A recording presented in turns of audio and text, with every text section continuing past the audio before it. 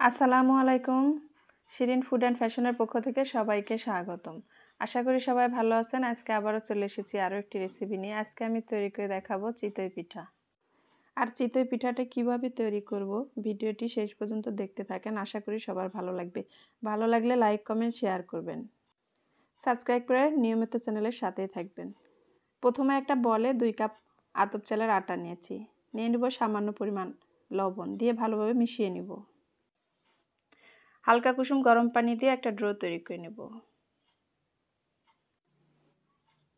আর পানিটা একটু একটু করে দিয়ে হাত দিয়ে ভালোভাবে মিশিয়ে নিতে হবে।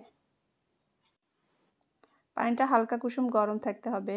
একটা আঙ্গুল চুবালে যেন বুঝতে পারি, বেশি গরমও না, বেশি ঠান্ডাও না।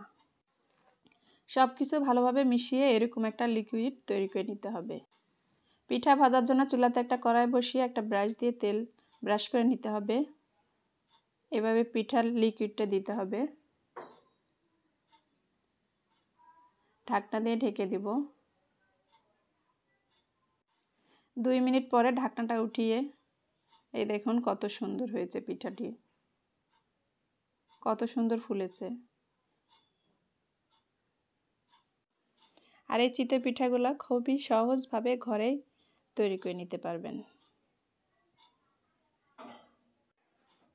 আর পিঠাগুলো দেখুন কত সুন্দর হয়েছে, কতটা লোভনীয় হয়েছে। আমি আবারও দেখিয়ে দিচ্ছি, প্রতিটা পিঠা দেওয়ার সময় অবশ্যই ভালোভাবে নেড়ে নিতে হবে।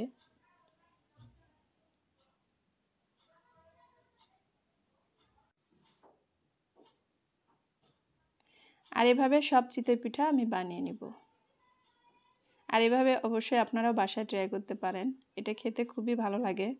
আপনাদের পছন্দ মতো আপনারা খাবেন, ভর্তার সাথে খেতে পারেন। মাংস দিয়ে অথবা দুধে ভিজিয়ে দুধ চিতই পিঠা খেতে খুবই ভালো লাগে। শীতের সময় সবার খুবই পছন্দের এই চিতই পিঠা আমার তো খুবই ভালো লাগে, আশা করি আপনাদেরও ভালো লাগবে। এতক্ষণ আমাদের ভিডিও সাথে থাকার জন্য সবাইকে ধন্যবাদ। সবাই ভালো থাকবেন। আল্লাহ হাফেজ।